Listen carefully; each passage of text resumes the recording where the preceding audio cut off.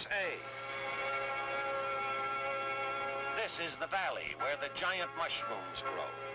More atomic bombs have been exploded on these few hundred square miles of desert than on any other spot on the globe. Little bomb.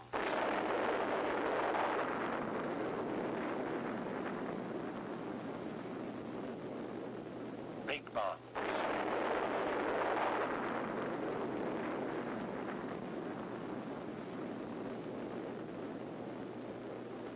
Bursts.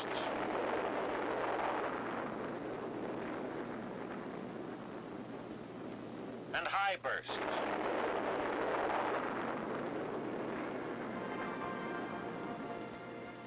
Within the last two years, 20 of these colossal blasts have echoed across the great barren stretches of the Southwest. This testing ground in our own backyard, just an aerial stone's throw from the Los Alamos laboratory, has been used only for experimental devices below certain power levels. Even so, it has been hugely valuable. It would have cost months of precious time and millions of dollars more to do this testing at the Pacific Proving Ground on any Eniwetok Atoll. Interwoven throughout the story of the Nevada tests is a second story. The story of the part played by the United States Air Force, operating here under the command of Major General John S. Mills, responsible for Air Force participation in the nuclear weapons program. With this help, the help of Air Force personnel, equipment, and veteran know-how, the tests afforded much earlier completion dates than would have otherwise been practical, yielding information vital to the big picture, national defense. Of the 20 bombs that were detonated, 14 had to be aerial drops, pinpointed with unerring accuracy to meet the requirements of atomic scientists. But the delivery of the A-bomb is only one phase of Air Force support of the Atomic Energy Commission's test program. As shot day approaches, a steady flow of information comes into Weather Central at the AEC's control point. Weather conditions must be right for test purposes and air operations, and from the standpoint of safety, the priority watchword of the whole program.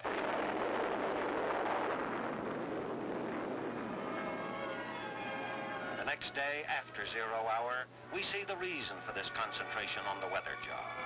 We see its relation to the huge fact which remains after every nuclear detonation. The atomic cloud, the towering, angry ghost of the fireball. The payoff is knowledge of wind speeds and wind directions.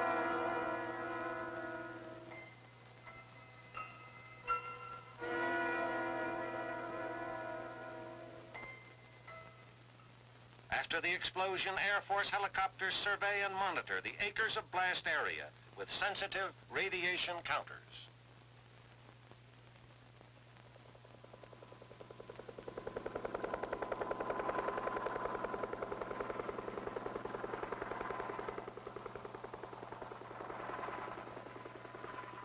Charting super hot areas, probing for usable approach lanes for bomb damage assessment teams. Another phase of the test program is called cloud sampling, the job of gathering specimens of the radioactive particles inside the swirling atomic cloud.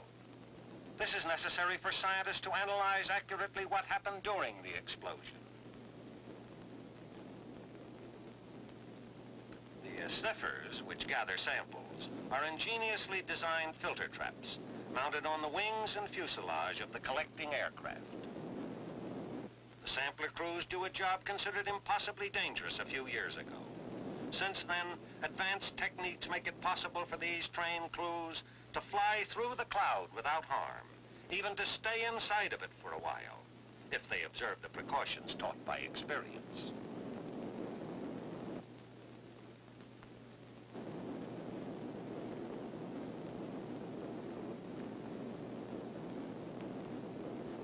Addition to the cloud samplers, as many as 40 other aircraft are aloft to handle special assignments each time an atomic test shot is fired. There are observation crews with ultra-modern cameras, other crews operating complex electronic recording devices. and of great importance, the men in the cloud tracking aircraft, which will follow the cloud hour after hour as it is carried cross-country by the wind, checking its spread, reporting every phase of its movements to a radiological control center. With this information, commercial airliners can be warned of the cloud path. And Air Weather Service can further refine its weather forecasting techniques. Any aircraft that has been used for cloud sampling or cloud tracking operations will carry traces of radiological contamination. The Air Force has only recently developed a method of washing contaminated planes which makes them safe and ready for service within 24 hours.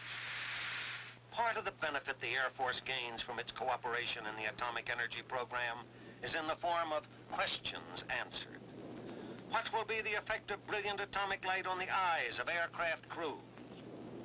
To find out, flight surgeon volunteers sat before optical instruments in a flying laboratory to test their visual reactions to the actual flare of an atomic burst.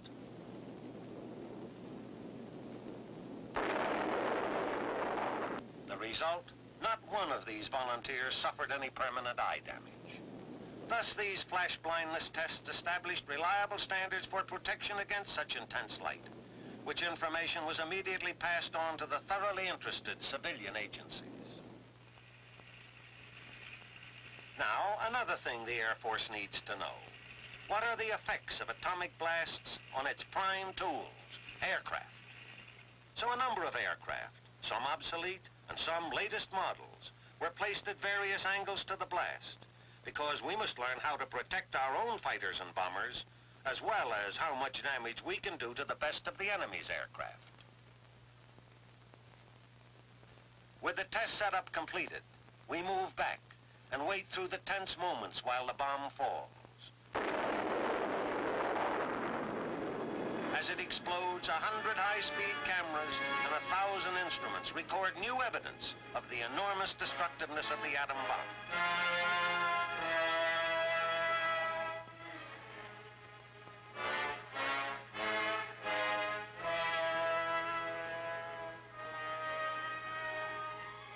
Come back and study the results in detail, looking for the answers. Have fighters, built to stand greater stresses than bombers, sustained less damage? Have the ruggedly constructed jet planes fared better than the conventional aircraft? And the answers are here, in some lightly damaged aircraft and in others scorched and twisted wreckage.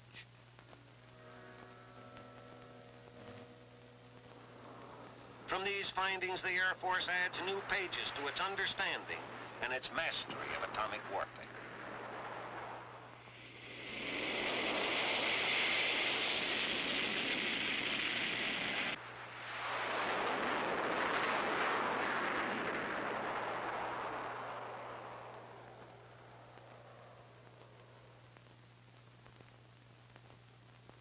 On the eve of a bombing run, an actual test drop, the air weather officer meets with top authorities for a final briefing.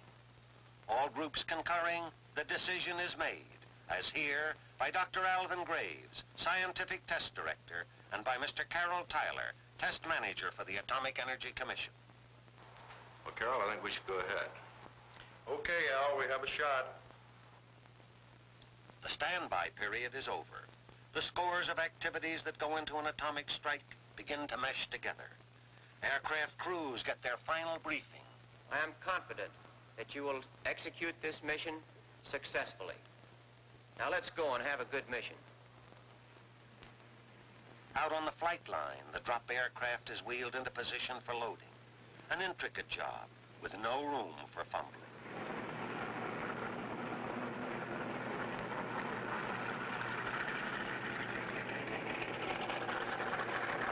This is no simulated mission.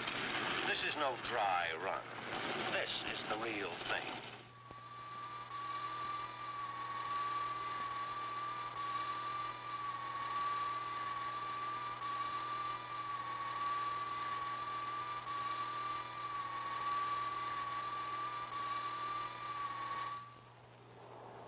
With an atomic bomb loaded in the bomb bay, the strike is launched. Rosebud, code name for this B-50 drop aircraft, is in the air. Three men in this plane especially share the heavy responsibility. The pilot, the radar navigator, and the bombardier. Once cleared from the base area, Rosebud climbs toward operational altitude. At the AEC control point, the progress of Rosebud, mile after mile, is charted carefully and matched against its predicted course. The test authorities stand by for any emergency decisions that may be needed.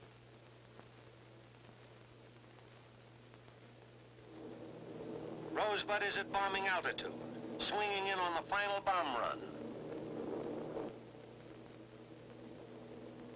Turn in five seconds. Four, three, two, one. Turn.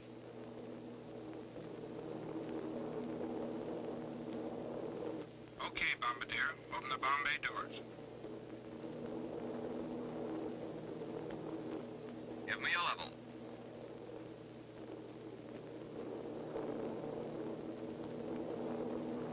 Level. Level, level. And now, as the final seconds tick away, the bombardier becomes the most important man in the drop plane. The target he must hit is six miles below.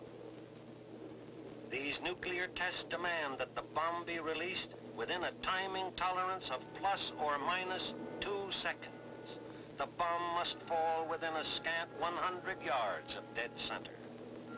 Teamwork, precision, experience, all raised to the nth degree.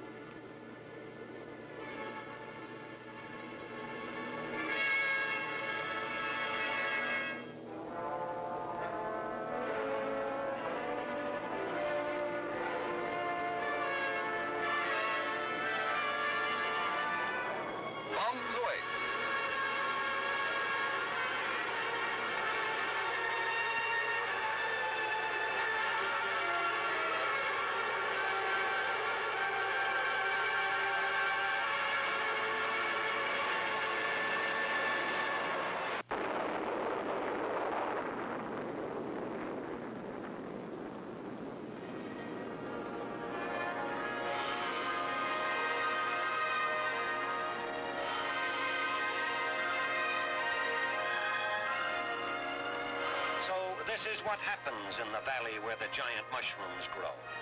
This, within security limits, is the part played by the United States Air Force in the Atomic Energy Commission's Continental Test Program. Target, Nevada.